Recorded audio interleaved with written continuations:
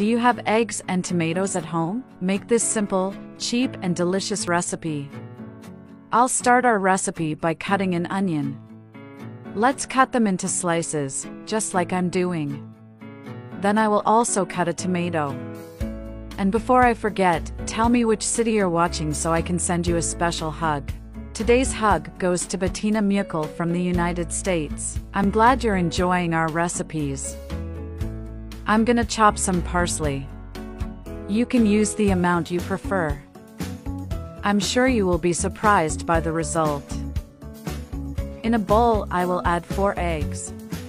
Tell me how you use eggs and tomatoes in your house.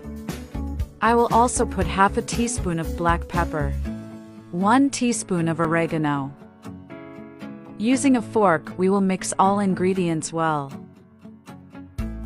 I'll also put the parsley we chopped earlier in the bowl. With the help of a fork, I will mix everything again. I doubt you've ever made a recipe like this before. Now let's put some oil in a pan. With the help of a kitchen brush, we will spread well to prevent our recipe from sticking. I'll transfer the tomato we cut before into the pot. People this recipe is so amazing that I'm sure even your friends will ask you to teach. I'll also put the onion we cut.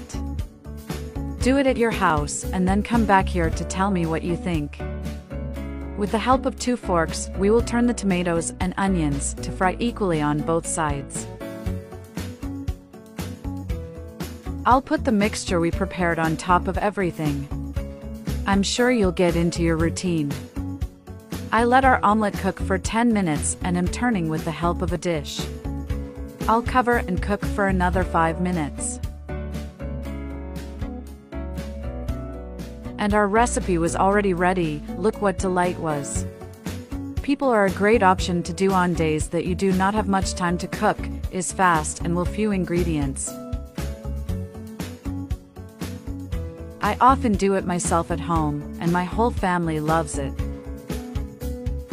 After you make omelette like this, you will never want to eat otherwise. I make this recipe almost every week, and when I do nothing is left. I hope you enjoyed this recipe. Thank you so much for watching this video so far. I'll see you in the next video, bye.